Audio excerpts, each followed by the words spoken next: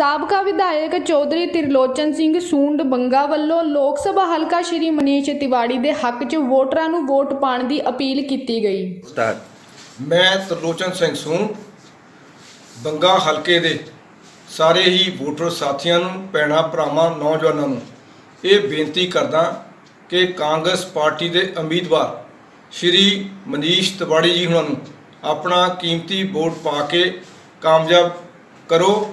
ਔਰ ਆਪਣੇ ਇਲਾਕੇ ਦੀ ਸ਼੍ਰੀ ਅਨੰਦਪੁਰ ਸਾਹਿਬ ਹਲਕਾ, ਜੋ ਪਾਰਲੀਮੈਂਟ ਹਲਕਾ ਹੈ ਉਸ ਦੇ ਵਿੱਚ ਵੱਡੀਆਂ ਵੱਡੀਆਂ ਆਪਾਂ ਫੈਕਟਰੀਆਂ ਲਵਾਈਏ ਔਰ ਨੌਜਵਾਨਾਂ ਨੂੰ ਕਾਰੋਬਾਰ ਤੇ ਲਾਈਏ।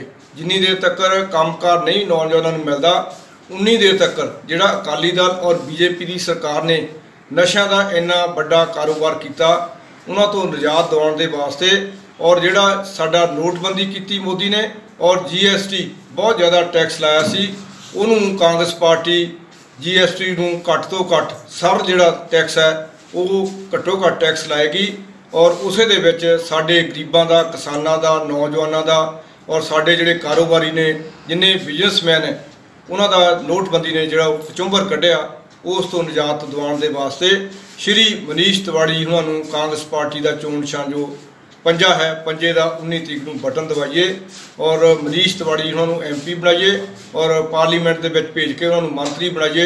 ਸ਼੍ਰੀ ਰਾਹੁਲ ਗਾਂਧੀ ਜੀ ਉਹਨਾਂ ਨੂੰ ਆਪਾਂ ਹਿੰਦੁਸਤਾਨ ਦਾ ਪ੍ਰਧਾਨ ਮੰਤਰੀ ਬਣਾਈਏ ਔਰ ਕੈਪਟਨ ਅਮਰਿੰਦਰ ਸਿੰਘ ਉਹਨਾਂ ਦੇ ਆਪਾਂ ਹੱਥ ਮਜ਼ਬੂਤ ਕਰੀਏ। ਤੁਹਾਡਾ ਸਾਰਿਆਂ ਦਾ ਬਹੁਤ ਬਹੁਤ ਧੰਨਵਾਦ। ਜੈ ਹਿੰਦ, ਵਾਹਿਗੁਰੂ ਜੀ ਕਾ ਖਾਲਸਾ, ਵਾਹਿਗੁਰੂ ਜੀ ਫਤਿਹ। ਪੱਤਰਕਾਰ ਬੰਗਾ ਤੋਂ ਸੁਖਜਿੰਦਰ ਸਿੰਘ ਬਖਲੌਰ ਦੀ ਰਿਪੋਰਟ।